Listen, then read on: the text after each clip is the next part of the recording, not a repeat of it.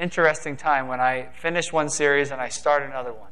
Um, I know you're always on the edge of your seat and you can't wait for what's going to come next. So we're going to start here. We're going to do a little interaction this morning. Um, raise your hand if you were in school, including college, during any of these decades. All right, I knew I'd get most of the room, so we're good there, okay? And, I, and it's funny when you think about sayings from these different decades. Uh, I did not come up with this list. I, I cheated and went online. I didn't poll people from every decade. I didn't have time for that. Okay? So, this is what I want you to do. If, if you said any of these sayings at one time or another, I want you to just put your hand up, okay? And leave it up. All right? And if you have to put another hand up, then we'll know you're, you, you got struck twice with these sayings. All right, in the 60s, here are some of them Daddy O, Groovy, Hippie, The Man. Come on, you referred to, you know, The Man. The 70s, Catch You on the Flip Side, Dig It, Get Down, or Boogie. All right, Paula was right up there. Keep your hands up, come on. The 80s, Rad, Gag me with a spoon. Gnarly, wicked, totally mint. All right, I got you know, hands up going all over the place. Amen, amen. The 90s, dis, homie or homeboy or my bad, fat with the ph, and word. That's just just word. The 2000s, peeps, not like the marshmallow ones, just, you know, my peeps. Sweet, bling, chillax. Oh, that's a, that's a, that's a cringy word now. Cringy. And then sketchy. All right? Only Frank kept his hand up the whole time. The rest of you like, this is so tiring. Okay, you put your hands down. All right? I always wonder, you can put your hands down now, that's enough. You always wonder, where do these things get started, right?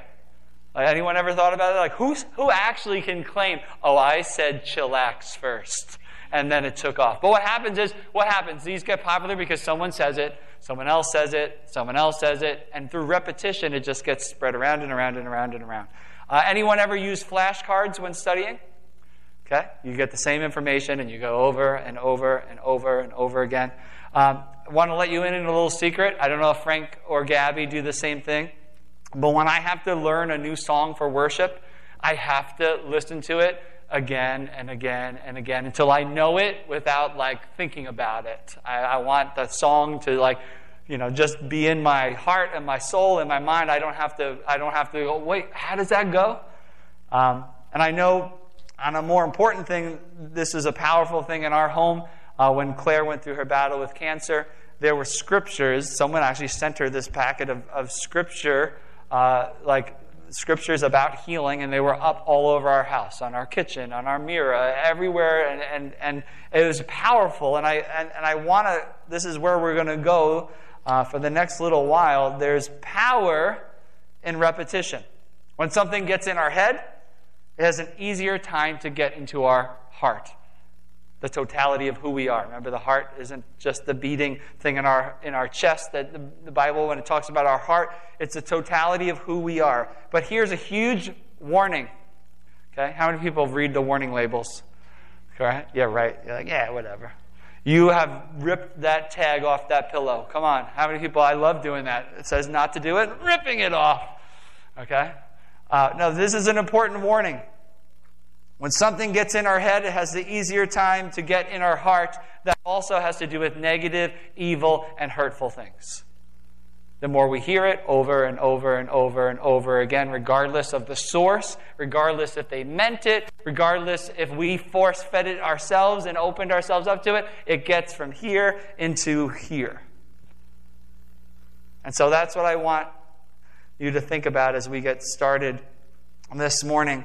I was asking God what to speak on, which I often do. And what's interesting, it doesn't always happen the same way twice. Uh, something, I wish the process was exactly the same way every time. Um, that would be the repetition that I would like, but it doesn't always work like that. Uh, so sometimes I have to stand on my head and then spin around. I'm just joking.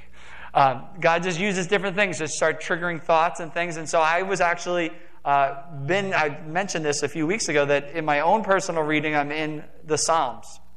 And I actually sometimes uh, feel like that's cheating as a pastor if I'm already reading something in, in, my own devotions and then God starts speaking to me. I'm like, no, no, I, give me something else because I'm just doing this already. It feels like a, a, a cheat, but it's not, of course. And so I was starting in the, the this uh, book of the of Psalms, uh, chapter, Psalm 119. And so my first thought was like, oh wow, this is a long one.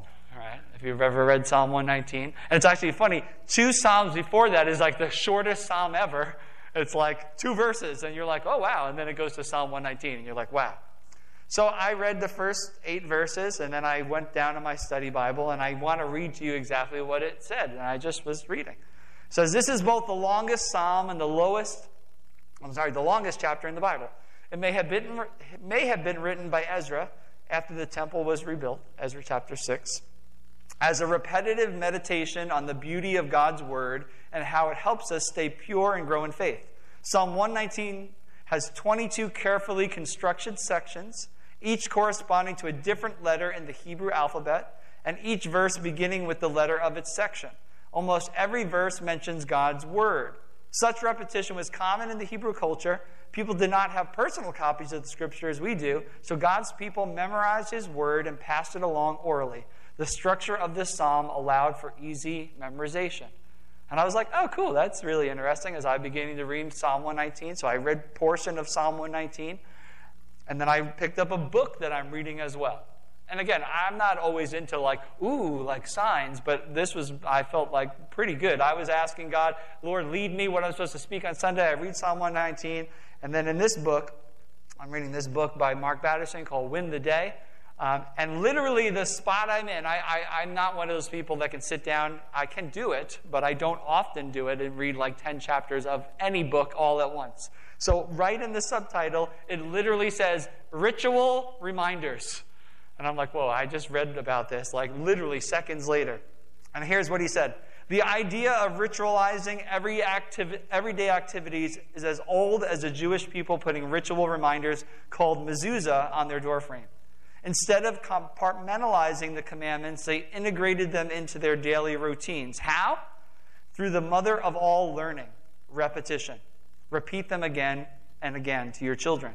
This sounds like rote learning, but it required creativity and intentionality. It involved environmental engineering and choice architecture. They surrounded themselves with ritual reminders that sacramentized every moment. Did you know that an observant Jewish person pronounces a hundred blessings a day, if you do something a hundred times a day, it becomes a way of life. And I was like, okay, God, I think you're speaking to me. I think we're going to, you know, repeat and keep talking about this. And here we go. So, this is where we're going to be for a little while. We're going to start a series today called On Repeat. And you're going to be terribly disappointed because I'm just going to speak the same sermon over for the next 18 weeks and see if you're paying attention, all right? And so I want to read to you. He mentioned a couple of verses in this part of the book, and I'm going to read them in their totality to you. Deuteronomy 6, 4 through 9. Okay? I'm going to read from the NIV first. It says, I'm not going to put it on the screen, so if you have your Bible, you can open it. I'm just going to read it to you. We'll, we'll, I'll put it up on the screen later. It says, Hear, O Israel, the Lord our God, the Lord is one. Love the Lord your God with all your heart and with all your soul and with all your strength. These commandments that I give you today are to be on your hearts. Impress them on your children. Talk about them when you sit at home and when you walk along the road, when you lie down and when you get up. Tie them as symbols on your hands and bind them on your foreheads. Write them on the door frames of your houses and on your gates.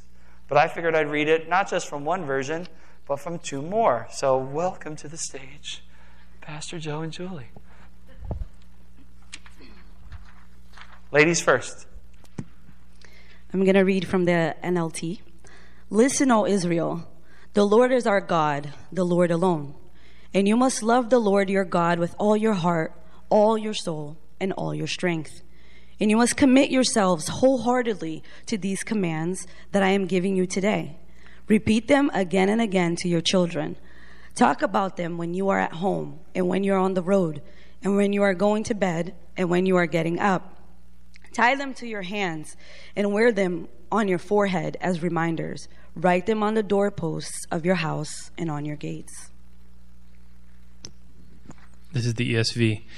Hear, O Israel, the Lord our God, the Lord is one. You shall love the Lord your God with all your heart, and with all your soul, and with all your might. And these words I command you today shall be on your heart. You shall teach them diligently to your children. You shall talk of them when you sit in your house, and when you walk by the way, and when you lie down, and when you rise. You shall bind them as a sign on your hand, and they shall be your frontlets between your eyes. You shall write them on the doorpost of your house and on your gates. Thank you very much. Give them a round of applause. Psalm 19 is actually known as the giant psalm. um, obviously, it makes sense. That's what it would be known as. And I want to. I'm going to set some things up to you for today. We're actually not even going to get into Psalm 119 today, okay? Because there's actually so much in there. Uh, I, I, there's some groundwork that's really important to cover. So in Psalm 119, it refers to God's law eight different ways. That sounds like repetition, right? When you, when you hear the same thing eight different ways. Anybody a visual learner? Anybody a hands on learner? Right? There's all different types of ways to learn. Some people can listen, some people need to read and listen, and some people will do hands on. And so the Bible does that sometimes in repetition and, and in, in, intentionally. And we all know that it works, right? Because we've heard things over and over again. Ba da ba ba ba. Right? Jenny didn't even have to think about that. It just came out like, right? It's scary how repetition does work. There are things, and, and, and, the media knows that, just so you know. That's why intentionally they want to get certain things in your head. The Bible does the same thing too, uh, and it's more important than a jingle. So here's a couple of words. I'm going to quickly define them because it's really important moving forward. And so if you're get lost during the next couple of uh, months, because for Psalm 119 it's got a lot of verses. Uh, we're going to go through them in bite sized pieces. These are critically important to go back to so you can listen to this message again. So, th- this is four out of the eight. I'm just going to quickly read through some definitions of these words. Law. Now, you could say, don't they all mean the same thing? Yes, but then they're also a little different. And so when the Bible's using them, it's, intentionally touching on certain things. So this is the law, the Torah. It means to teach and to direct.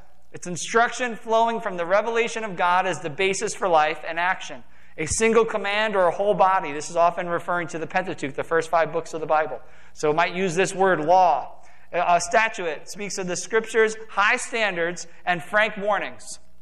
Frank, I don't know why there's warnings just for you, but there are. It just said that, frank warnings. And also its dependability a faithful and true witness. How many know that the scripture has high standards? Right? And often we look at them and go, oh, I, I can't do that.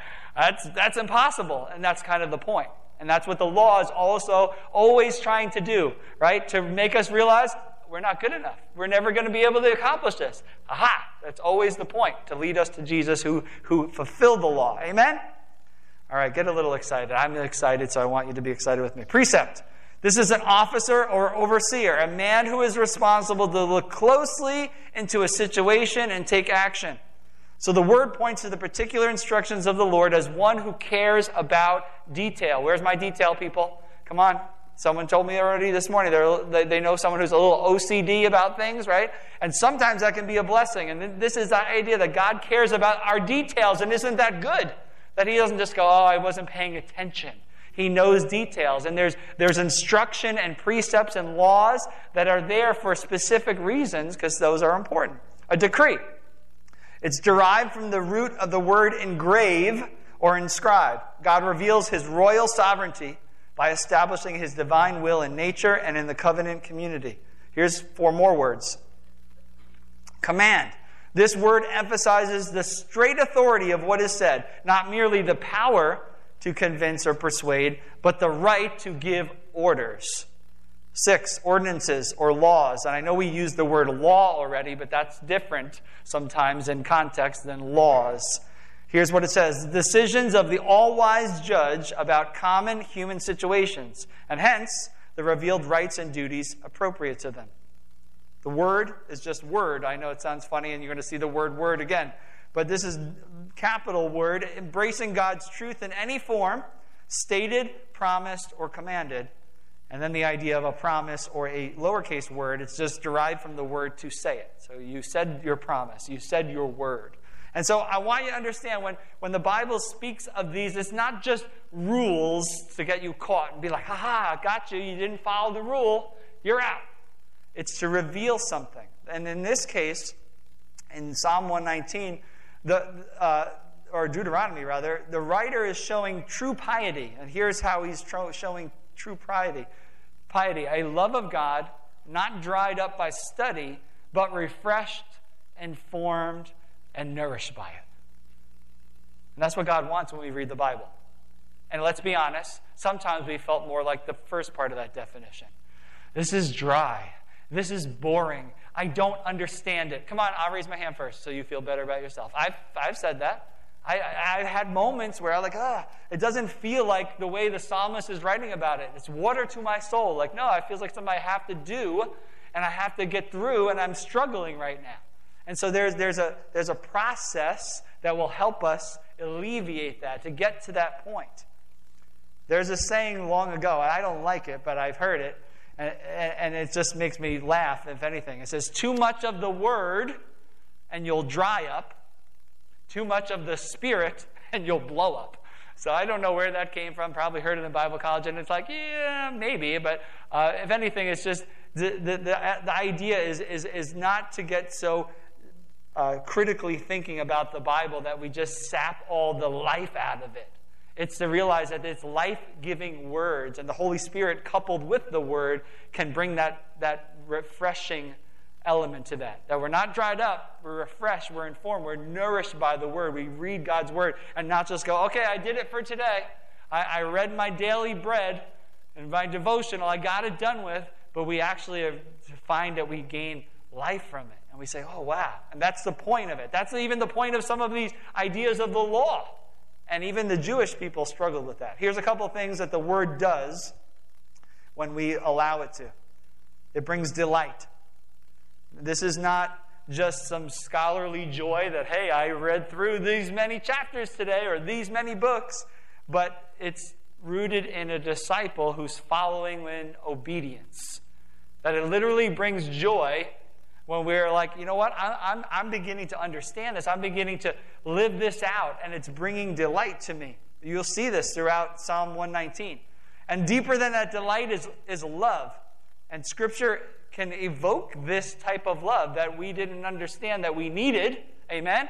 And that, that's even available. We're like, whoa, this is the kind of love that I've been looking for. And often Scripture will do that. And again, if these aren't powerful enough, then there's strength.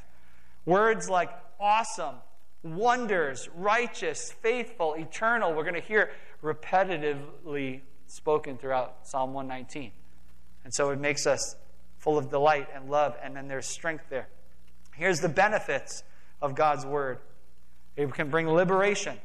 Uh, this was such a profound quote to me, and I, I want to read it to you regarding liberation. So, if the idea that God is master or Lord, therefore, Service to him is perfect freedom. And I was like, whoa. It made me like stand back, like, whoa, if he's, remember, and he, he, he's the master in the right way. He laid down his life for us. He's not, he's not forcing us to do something, but he's the master and the Lord. So service unto him for us is perfect freedom, perfect liberty. Wow. Do you ever think about that? We don't often. We're like, what do I got to do to get to heaven? what do I got to do to get through this day? What do I got to do to stay on God's good side? And it's not about that. It's that He's the master, and when I'm obedient to Him, I have perfect freedom. I, I, I, I'm, I'm living in perfect liberty and freedom. Amen? And we have to rediscover that. Here's another one light. Even in Psalm 119, you, when you get to this point in Psalm 119, we're all going to, oh, I know that verse. Lights my feet and my path. It brings insight, understanding, discernment, wisdom. How many people could use some of that? All right? And we need that. And so it brings that light into our, our life. It brings life. God's law is restorative and life giving. It turns our eyes and our steps towards Him. And the last one is stability. basing our hope and our comfort not on just how we feel, but on His dependable word and His promises. And I want you to understand that when we read God's word, we're not just tricking our mind and saying, okay, let's just say this. It's not some mantra or some way we're tricking our brain. It's like this is truth. And we're letting that truth impact our mind and then get into our heart. Amen? And sometimes that means we got to say it over and over and over again. We're going to see that this is a very, very common thing. All right, back to um, Deuteronomy. I'm going to read from the NLT, and we're going to walk through these verses a little bit. It says, Listen, O Israel, the Lord is our God, the Lord alone, and you must love the Lord your God with all your heart, all your soul, and all your strength. And you must commit yourselves wholeheartedly to these commands that I'm giving you today. This sounds familiar, right? We, have we've, we've heard this before. Jesus echoes this in Matthew 22. He says, They ask him, Teacher, which is the greatest commandment in the law? And, you know, they're always trying to get that trick question to Jesus or, or find, the, find the shortcut or the loophole. And he says, Love the Lord your God with all your heart and with all your soul and with all your mind. This is the first and greatest commandment. And the second is like it love your neighbor as yourself. All the law and the prophets hang on these two commandments. So let me define a couple words that were in both of these verses in Deuteronomy and Matthew. We've talked about them before, but it's always helpful to hear it again. Amen? All right? I, that's what I want you to understand. So if you, if you hear certain things in, in church and you're like, I've heard that before, there's a, there's a purpose for it. Even if in the Bible, when it repeats things, the repetitiveness is not just to be like, all right, I've heard this. Why are they saying this again? Because it's important. It's something we need to know. So here's the idea of heart. In the Old Testament, physiology, it refers to the mind or the will, the center of the intellect, who we are. That's our heart, the heart of who we are. The idea of the soul is describes the person himself or herself the essential being, especially the desires or the longings. All right? So, because we, can have, we can have our own concept of this. And that's why it's always important to get into biblical idea what they were thinking of when they used heart, when they used soul. And then the last one is strength. It's not an element of one's being, but of human activity, what one does. So here's how the command is wrapped up the command is to be obedient to God with fullness of being and totality of effort. So when you're putting your whole heart into it, that means you're putting everything. Like everything that is inside of you that you can't grasp, and yet putting in effort. And that's where we start to go, whoa, okay, love the Lord your God with all your heart, with all your soul, and with all your strength. And if I asked the room right now, my hand would go down first. You know, to say, oh, is everyone doing that 100%? We're Like, mm, some days, it depends. And that's, that's once again, Jesus' own words from Deuteronomy 2. Are you doing that? We're incapable of doing that on our own. We're going to struggle. It's going to be difficult to do in our own strength. Here's what it says about this law, about these ideas. It's not just to put them on a bumper sticker, not just to put them on a t shirt, but it says this repeat them again and again to your children. Talk about them when you're at home, when you're on the road, when you're going to bed, when you're getting up. The idea is this word repeat. And it actually doesn't mean what we think it would mean. Uh, we think, right, as a repeat is just say it again, say it again. But the biblical definition is actually this idea of being sharp. Listen to this definition impressing the words of covenant faith into the thinking of his children, talking about this verse, by inscribing them there with indelible sharpness and precision. The image is that of an engraver of a monument who takes hammer and chisel in hand and with painstaking care etches a text into the face of a solid slab of granite. The sheer labor of such a task is daunting indeed, but once done, the message is there to stay. And I know you want me to show God's chisel tour, but I'm going to hold off, right? All right? But the idea, right, isn't that like, would you think of that when you think of the word repeat? No. But that's what happens when something's on repeat. It's getting etched into our heart and our mind over and over and over and over until it's not removable. So, my question is to you today what's on repeat in your life? What are you listening to? What are you hearing? And I don't just mean like listening with ear, ear earbuds in, in your ears, or what, what voices, what, what truths, what wisdom are you listening to over and over and over again? Because it's etching something in your heart and your soul, and it will affect you. And will draw you closer to God, or will draw you away? I can't answer that for you, but God can. Look at this, what it says. Talk at them at home, on the road, going to bed, getting up what if we started this habit? I won't say that I'm good, I'm, I'm more challenged by this. First thing in the morning. Like, first thing in the morning. Like, like maybe while your coffee is brewing. God's Word. Sometime during the day, and if you think about the idea of some people have a commute or in their house, sometime during the day being intentional about it, and then last thing on your mind before you go to bed. What if you just started there?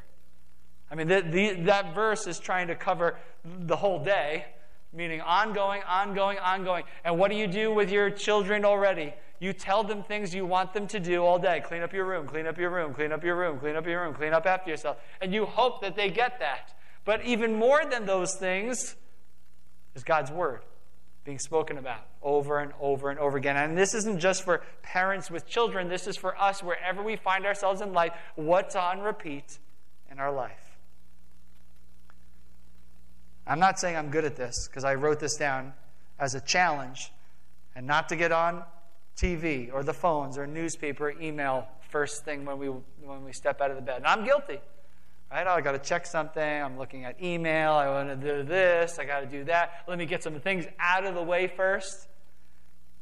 And it goes on to say this, and this is where we can sometimes think like we would skip over this verse. It's like, what are they talking about? Tie them to your hands and wear them on your forehead as reminders. Write them on the doorposts of your house and on your gates.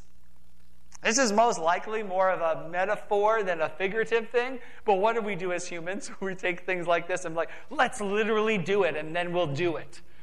And I don't think it's wrong because we we do that. We, it's easier if it's on a sign. It's easier if it's just a, something we physically do than if we let it internally change us. But it's a very human response. Even Jesus talks about this. Matthew 23 5, I'm just giving you a short little thing. He's talking about the Pharisees. Everything they do is done for people to see. They make their phylacteries wide and the tassels on their garments long. Anybody know what phylacteries are? I had to look it up. Right? Because I also had to look up how to say it because I try not to butcher words that I don't know how to say. I probably would have read over that word. I don't know. That never jumped out to me. I've never seen this verse on a T-shirt. You know, uh, I'm like, oh yeah, the phylacteries. Phylacteries are small leather parchment boxes containing a piece of vellum, which is paper, inscribed with four texts. If you're interested, here's the text. Exodus 13, 2 through 10, 11 through 16, Deuteronomy 6, 4 to 9, 11 through uh, 11, 13 through 21. I know you're dying to see them. Here they are. There's a phylactery, like literally a leather box with scrolls in it. And they literally would wear them. There's someone wearing a phylactery, and then there's their their hands are tied, just like the verse says, and one of them's tied to their arm too. Here's, here's a guy rocking it. There it is. All right? I'm not, I'm not, please don't misunderstand. I'm not making fun. Like, they took those verses and, and that's what it says. And so that's not shocking. And I give them credit because that's what it says. And the other idea about the doorposts is the mezuzah, Old Testament doorposts. But as they went post biblical times to the tiny plaques attached to the doorpost, which also contain scripture. This is more of a modern version of it, but it's there. And it's not wrong if there's a point and a purpose behind it. And so that's what I'm saying. We can have a plaque in our house, and, and we do, with scripture on it, with good reminders, but we walk by them every day and it's not getting in here. Looks nice, it's helpful, maybe, but I want to bring this to a spot where we think of, and maybe you've heard this term, I've heard it for years as a teenager, and I used it as a youth pastor, and I still do as a pastor, but garbage in, garbage out. That's just naturally what's going to happen. And so, this isn't to make us feel bad, this is to make us realize that even within the Bible writings, they were trying to repetitively remind themselves of God's word and his promises because we often, as humans, we forget. And so, if putting a leather box on your head would make you remember, I guarantee after a few weeks you would forget it was there. And, like, I don't even know what's in those verses.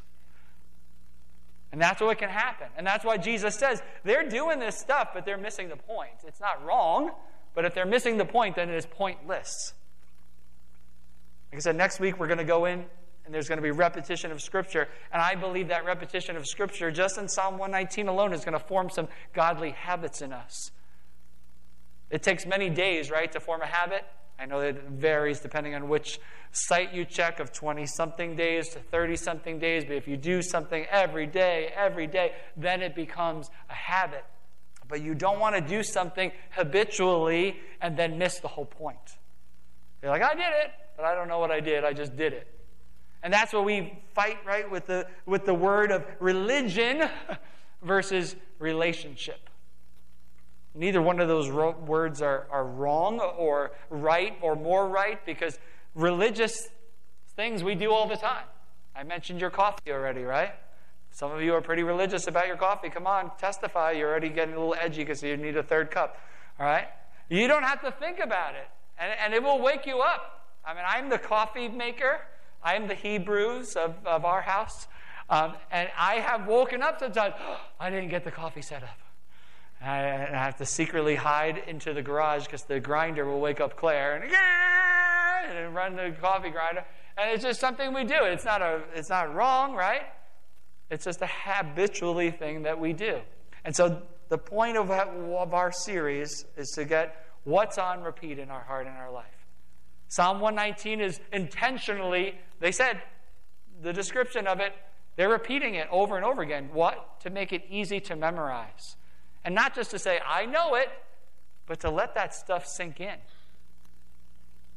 Modern choruses, like worship songs, they get a bad rap from the older generation because they say they're always repeating the same thing over and over again. Actually, that's pretty Jewish. So don't take it, it's a bad rap. So if you have something going on in your head and it's a worship song and it's going on and repeat, praise the Lord.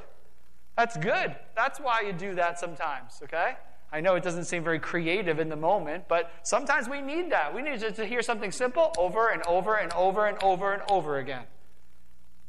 It's so powerful when it's used for God's purpose. So, what's on repeat? In your heart and your mind and your soul. What's on repeat? Like I said, I, I, I, know that little button. That's what that little symbol means. If you don't know, if you have any sort of audio player on your phone or anything, you hit repeat, and that little symbol means it's going to repeat the same thing. And if you click it again, a little one appears. That means it's just going to repeat that one thing over and over again. But here's the other question that I have to balance it out with is that warning. What lies have you been believing about yourself? Over and over and over. Maybe it's not even from an outside source. Maybe it's from this source in here. I believe these lies. I've heard them my life, so now I'm starting to believe them and I'm repeating them to myself. What half truths about your situation in life have you been allowing to creep in? And you hear it every day. What false things about God and morality have you heard over and over? And man, they sneak them in everywhere. Please be warned. Okay? Oh, but it's so catchy. Oh, yeah. Oh, it's such a great show. What are they telling you? What truths about God's word and morality? Oh, it's okay if you do this, this, and this, because it's just a show. Do you believe that? Okay? We had the privilege to be in high schools uh, a few weeks ago with John Pritikin, who spoke here at the, at the church. And I was shocked because I haven't been in the high school during high school hours in many years. Um, and this is partly probably because of pandemic. and just the life and age of teenagers. Does it make anybody feel bad? Or, and I'm not picking on anyone because adults can do this too. But many teenagers that came into these school assemblies had earphones on. and masks on, and I'm not making it, and hoods on. They just look like they were enclosed in their own little world. And so many of them are on their phones. And actually, John Pritikin brought one of them up and said, What are you listening to? And he put the, ear, the microphone by their ear, and they were listening to music, like while they're talking to other people. And this isn't to go, Oh my gosh, because we're doing the same thing. So don't be shocked when the, the morals and the standards, and we already said the Bible has high standards, when the morals and the standards of this world are creeping into our society, and we're like, how did that happen? Because we let it. Because we chose to listen and to hear and to read all of this stuff for whatever purpose and said, oh, it's no big deal. And we've slowly become, the word is desensitized. We don't even know it's happening, we don't even know it's there. But when you have God's word on repeat, and I'm challenged. I'm not saying like I, I can grow in this. When I've got God's word coming over and over again on repeat, and I'm hearing it, I believe some good things are going to happen. Amen. I believe some of those benefits that we talked about are going to happen. I'm going to go back and read them because I, I didn't repeat them enough to you. No. Liberation, light, life, stability. These are important. This is what Psalm 119 is going to ingrain in our head. And, and remember, the, the, the idea here is, is not just to trick our brain. It's not just to say it again and again, and then I'll eventually believe it and it will become true, okay? I believe I can fly.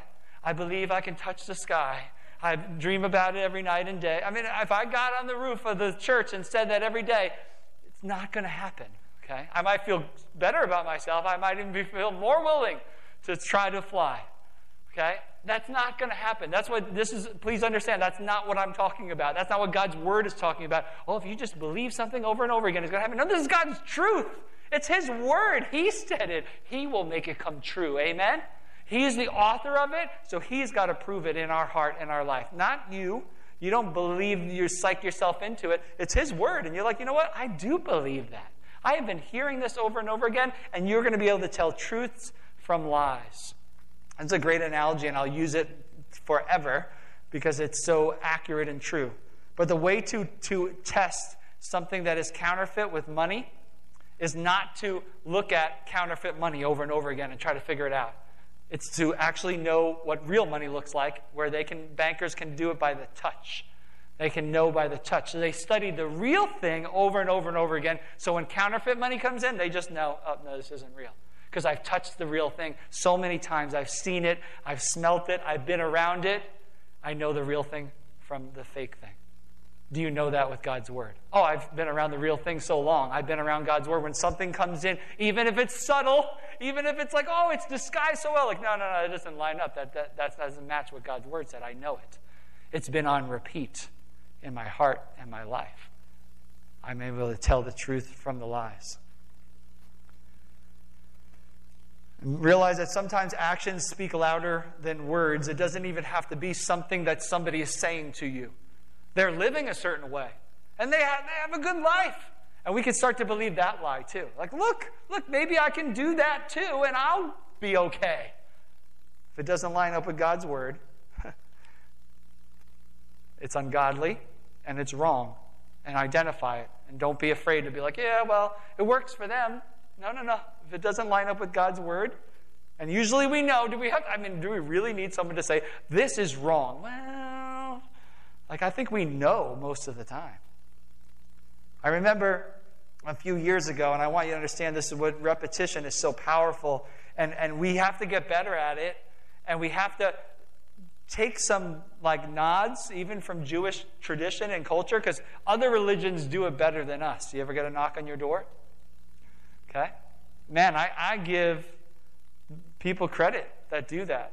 Like, that's not how we roll, per se. I'm not saying it's wrong, but people are dedicated. Here's another one. I was in an airport years ago. My family were walking through, and somebody of the Muslim faith was literally on a mat in a crowded airport praying. And of course, you know, people are looking at them and whatever, and I, you know, don't subscribe to that religion of any way or shape, shape or sort. But I, I realized, well, that's dedication. Like, would I do that right now? Would I get on my knees and just open my Bible and begin to, to pray in the middle of the airport? No. that's why, oh, you, you pray in your heart. no one has to know you're praying. and that's true. But that person wasn't afraid to do that right there. What do you need Jesus to delete and then put on repeat in your heart? Think about this with your computer. Anybody have one of those virus searching capabilities? You, you should. Every once in a while, we'll try to clean up your computer, and, and it's kind of like you kind of get scared and excited at the same time because it starts to search, and you're like, and it starts to like whatever the, the technology is, it looks and it looks, and then it will be like, all right, we found three viruses on your computer or free three uh, hacking software. You don't go, oh, that's nice. I don't care. That was cool. I just wanted to see that little thing go scrubbing across my screen. You look at it right away and you go, and it says, Do you want to permanently delete these? And you're like, Yes, get him off here. But how often does God do that in our heart and our life? Or do we even let him? Like, no, don't, don't, don't go looking. Don't go looking, God. There's stuff I don't want you to find. Let him do a virus search on your heart and your life. Let him delete whatever he needs to delete, right? There's sin in our life sometimes. There's compromise. There's things that we've heard over and over again. And here's the beauty about this. Yes, they could be etched on, but Jesus is the only one who can wipe that etching away. Amen? He can take it and, and, and, and literally, like, easily remove that. And don't say, I won't, I'll deal with it later. Let Jesus handle it. Then position yourself this morning to receive. There's a reason why during worship we do this or do this. Okay? You don't get extra points. There's not certain levels of worship where you are. Okay? There, there's something about physically positioning yourself that gets you ready to receive. Because I guarantee if you're like this, it's a lot harder to receive from the Lord. And I did that for many years. My family used to make fun of me because they said, Keith isn't singing the worship songs, he's just chewing his gum. And I was. I would just chew along and just sit there. And I probably had my arms crossed like this because I had to get up early on a Sunday morning and be at church with my family. And, you know, we went to Friendly's afterwards, so that made up for it, all right? But how often do we do that? Trust me, I, and don't, if you're sitting like this right now, sometimes it's really just comfortable. I, have done it and caught myself like, do people think I'm really closed in right now? I'm just really comfortable, right, Mike? so, but, but there is something about coming to God and saying, okay, God, I want to receive. Now, this doesn't guarantee it. If I put my hands out, God's like, oh, well, I'm going to do it now. But there's something about that. Get your Bible this morning, even. If it's digital, let His Spirit guide you and let the words jump off the page. Sometimes He will, if you ask Him to do that, like, this is stuff God loves to do. He wants for you to receive from Him, He wants His word to speak. Amen? And then pray. Praying is just talking to God. I always said that for years because people get really confused. Like, you know, hey, you want to pray with me? They're like, I don't know how to do that. I'm like, do you know how to talk? They're like, yeah. Like, then you know how to pray. like, that's all it is. It's just talking. Heartfelt and authentic. Here's the thing, because God already knows what you're thinking. God, God already knows if you're like, Pastor Keith, come on, I'm really hungry. Hurry up, speed up. I got things to do. He already knows that. And He's going to let me go longer because of that. He's going to tell me, no, no, I want some of the people to suffer a little longer heartfelt and authentic. And here's the thing those are just a few simple things, and God wants you to what? Repeat that daily sometimes. Come before Him, scan my heart, Lord, scan my mind, delete the junk, start to put things on repeat in me. Help me to receive from you. Help me to pray. Help me to read my Bible. Allow the Holy Spirit to let stuff jump off and, and, and work on me. So that's what we're going to do today. I'm going to ask Gabby to come and just play. For too many months, we this this area of our church laid dormant for many different reasons, and uh, I encourage you, like I did last week. I know some of you it's foreign to you. Some of it, it, it takes time to get into that. And again, there's nothing magical up here. There's just maybe less stains on this carpet than the back there. But there's something about getting out of your seat. I've I've experienced it as a young person and even as a pastor. And I'll share a funny story so you'll feel a lot more comfortable about coming up. One time I'm at a meeting for pastors, and this is where I always try to give clear direction as a pastor. Um, and this is all pastors, you know, all along Island. I know 85% of them, and they know me. And the pastor's giving this, hey, we're going to pray for a little bit, and we're going to pray. And he starts giving some real general things. And then like two or three people come up. I'm laughing because I felt so ridiculously embarrassed. Okay? As I made my way up there, I came for what he said first. Like, hey, you know, you want prayer? And it was very general. And then once everyone got up there, and he's like, all right, so we're going to pray for those people up here that are questioning their call in ministry. And I was like, wait, that's not why I came up. And I am sitting there wondering now if 85% of the people who know me are like, oh, Keith is questioning his call in ministry. And I'm up there praying. And I realized at that moment, like, God, it doesn't matter why I came up. You know why I'm here. And I'm going to pray. And so I want you to know God will meet you in your seat. Yes, He will. He'll meet you if you stand, if you sit, if you do anything. But the point is, is to make yourself available. And trust me, I wanted to run right back to my seat and say, Not me, that's not me. it doesn't matter. That's why we give a very general call this morning. I try to be very specific. And it wouldn't matter anyway, because if God wants you to seek Him, I encourage you in this moment do not miss this opportunity.